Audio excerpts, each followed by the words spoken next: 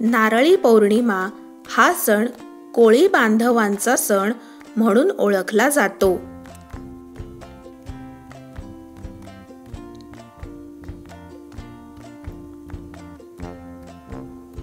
पावसाळ्यात समुद्र खवळलेला असतो.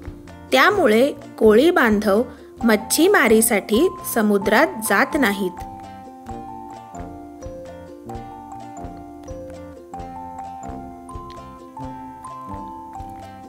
नारळी पौर्णिमेनंतर पावसाचा जोर कमी होतो.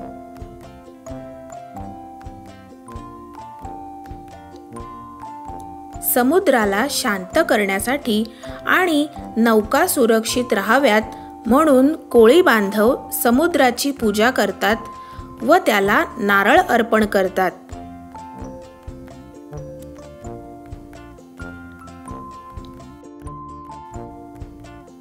या दिवशी नारळाचे महत्त्व असते म्हणून नारळी भात आणि नारळाचे पदार्थ नैवेद्य म्हणून करतात.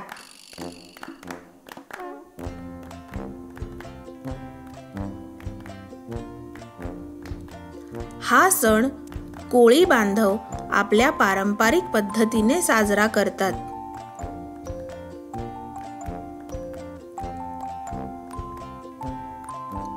या दिवशी ते आपल्या घरांची आणि होड्यांची सजावट करतात.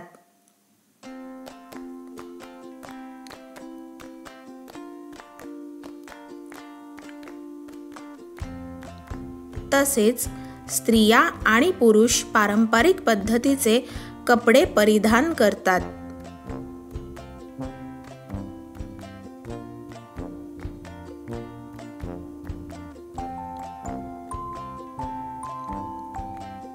सगळे कोळी बांधव हा सण अतिशय आनंदाने आणि उत्साहाने साजरा करतात.